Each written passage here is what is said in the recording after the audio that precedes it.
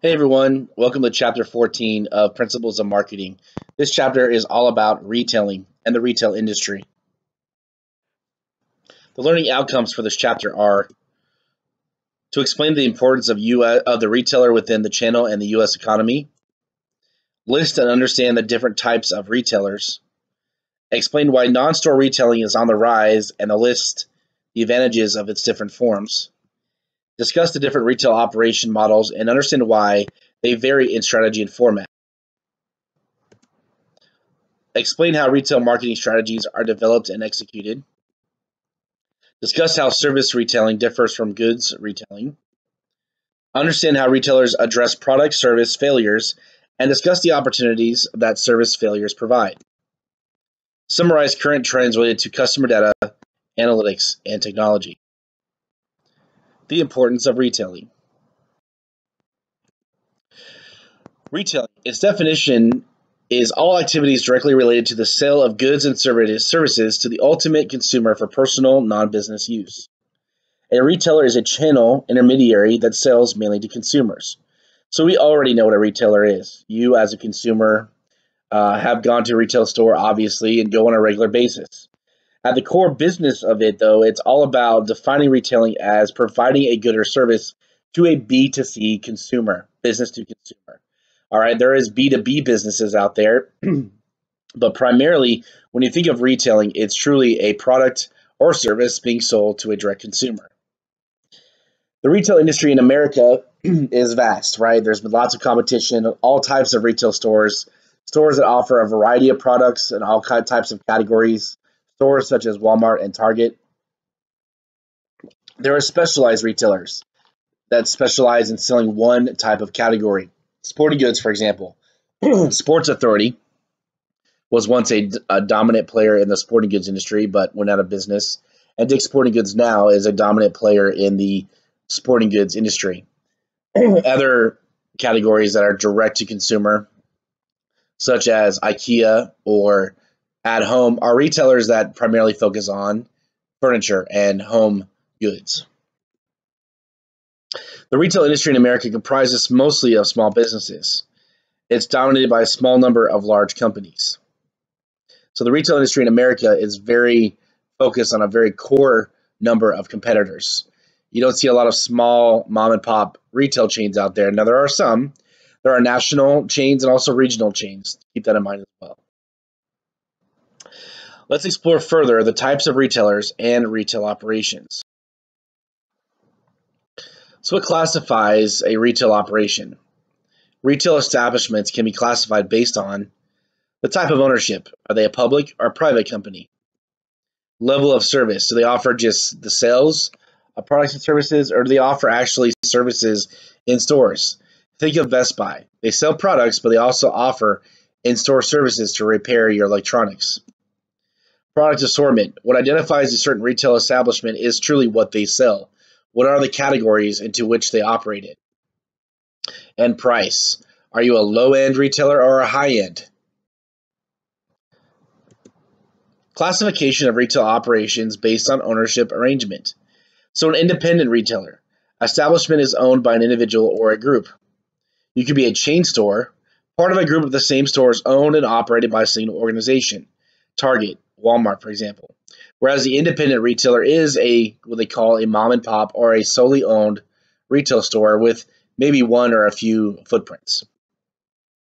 Then there's franchises, the relationship which the business rights to operate and sell a product are granted by the franchisor to the franchisee. This is the same as convenience stores. Think of 7 Eleven. Well, 7 Eleven is considered a convenience store. Many 7 Elevens in the country are franchised owned. The same can be for a retailer as well. Classifications of retail operations based on level of service and product assortment. Level of service. Full service to self-service. Do you walk into a store and you have the employees do everything for you? Or does the store offer the ability for the employee to do everything for you? From helping to transact the transaction, to setting up the service, to actually conducting the service in store. That's a full service type operation.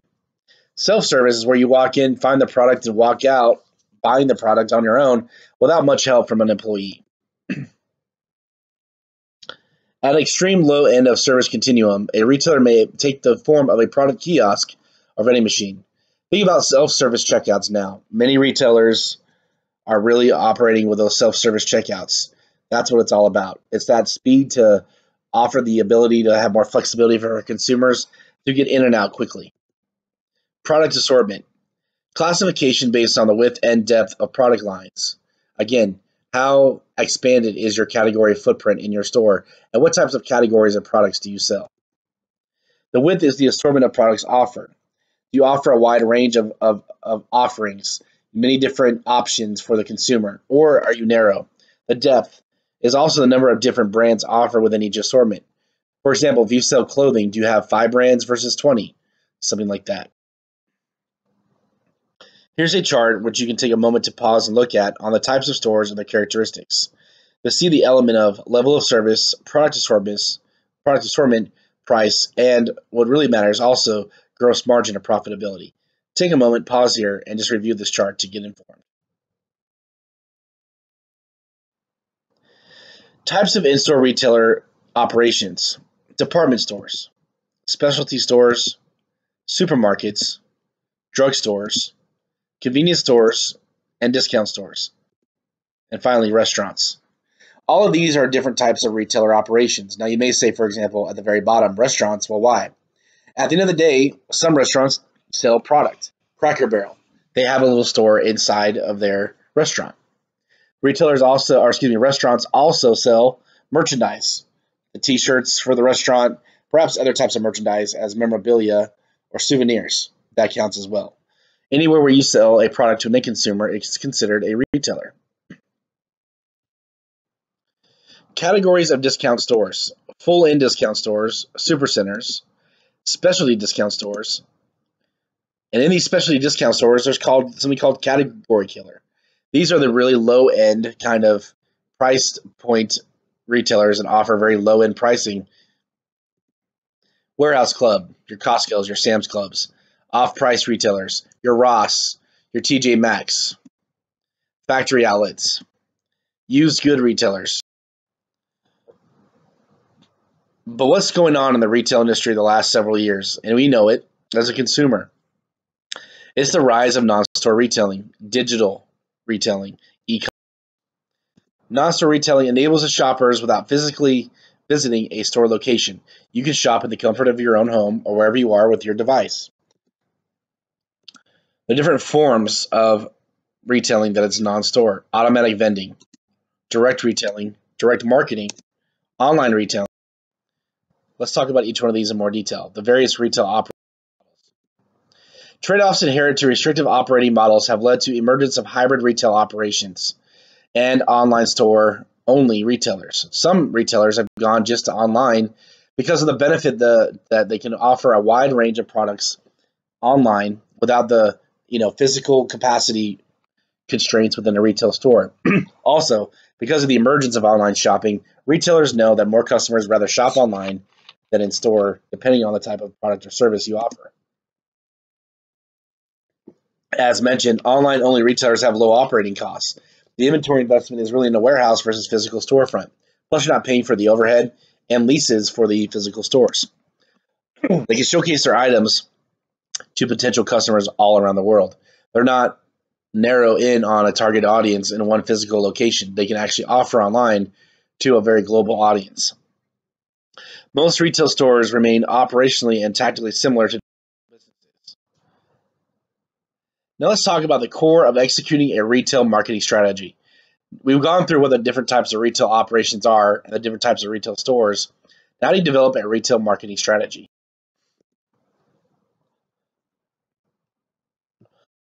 first thing you need to do in marketing strategy in general, but especially in retail, is developed based on the goals established by the stakeholders and the overall strategic plans developed by the company leadership.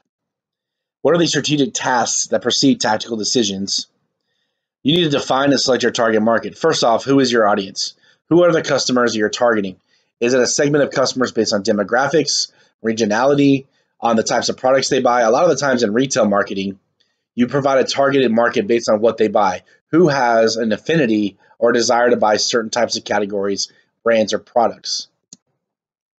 Then you need to develop the retailing mix. The mix is what is the product going to be, and also what are the advertisements you're going to do. Is it an email blast versus versus a print flyer, social media post? What types of advertising are you? Going so I need to find your target market. The process, be, process begins with market segmentation, which we covered in this class already. Retailers need to be sensitive to changes in consumer preferences, and not just on what they shop for, but how they shop. What really retailers need to understand is that the products and brands which customers buy may not change that often, but how they shop, how they look for a quick and easy way to find what they're looking for in an easy fashion, either online or in store. Target markets are defined by the, like I said before, demographics, geographic boundaries, and psychology. Here's the retailing mix. This is how you define your target market. Between the product, the place, the promotion, the price, presentation, and personnel. All of these factors combined, you need to analyze and evaluate to develop your target market. Pause here to review this slide in more detail. So how do you develop a promotion strategy? A promotion strategy includes the following advertising, public relations and publicity, a sales promotion. So any one of these as a promotion can be well, how are you going to advertise, how much publicity is it going to be given, and what is the actual value of the sales promotion, the percent off, the discount. What are the risks to a retail promotion strategy? Brand cannibalization. What this means is the reduction of sales for one brand as a result of the introduction of a new product.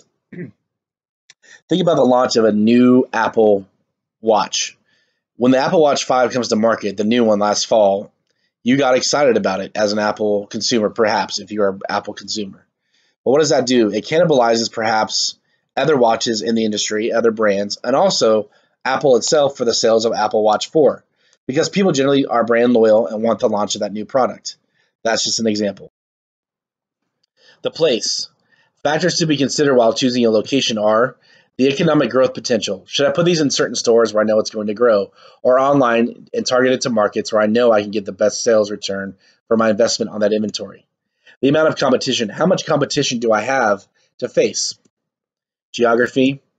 Stores in isolated locations must become destination stores in order to be successful.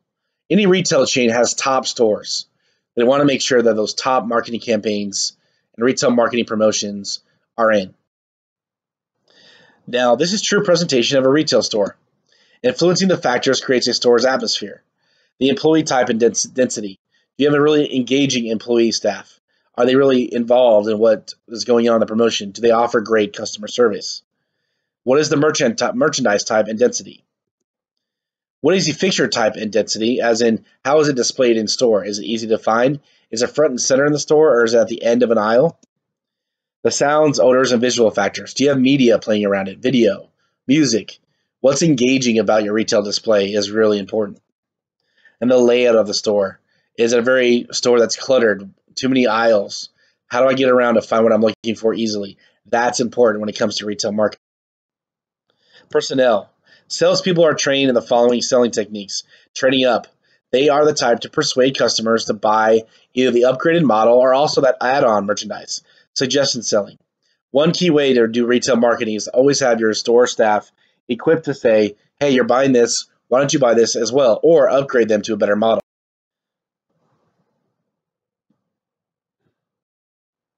Retailing decisions for services. Service industries are customer oriented and service quality is priority. In service industries, you've got to be focused on the quality of your service to make customers repeat customers. Service distribution focuses on minimizing wait times. Nobody wants to wait as long as they should, should have to. So reducing that wait time is key. Managing service capacity, improving service delivery, establishing channel-wide network coherence. So how do you address retail product service failures? We've all had a situation where we've had a bad experience in our purchasing or shopping experience at a retail. Here's how you, as a retailer, recover that service failure. Best retailers have plans in place to recover and benefit from lapses in service. Actions that may be taken are notifying customers in advance of stockouts.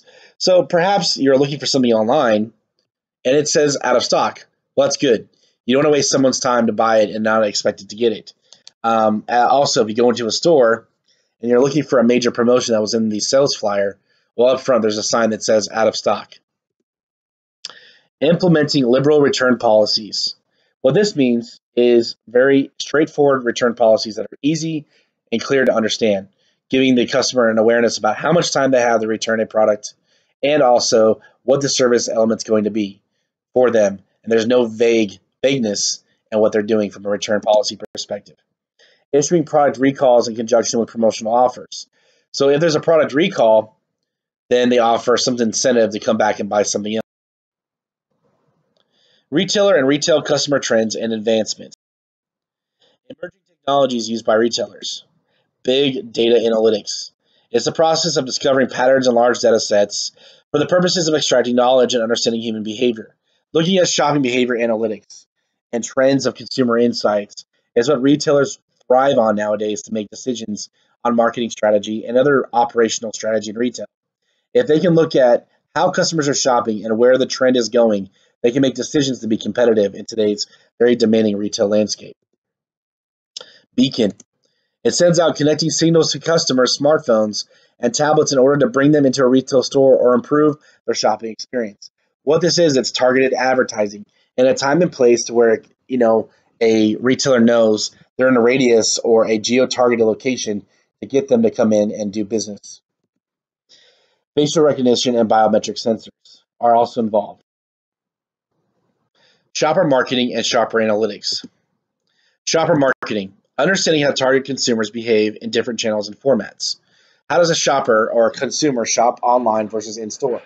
How does a shopper online interact with social media versus just on a website? All of those dynamics are very important. Information is leveraged to generate sales or other positive outcomes. Manufacturers and retailers use shopper analytics to understand shopping behavior but also to understand how marketing campaigns engage with consumers based on their emotions and their behaviors. How do they react to marketing campaigns based on click throughs, uh, click to open rates, and other metrics and KPIs? This helps fine tune and develop or change market offerings. That is the end of this video lecture. There are other areas of this chapter for you to review. These are the highlights I wanted to make sure you understood. Thank you for your time in reviewing this video lecture.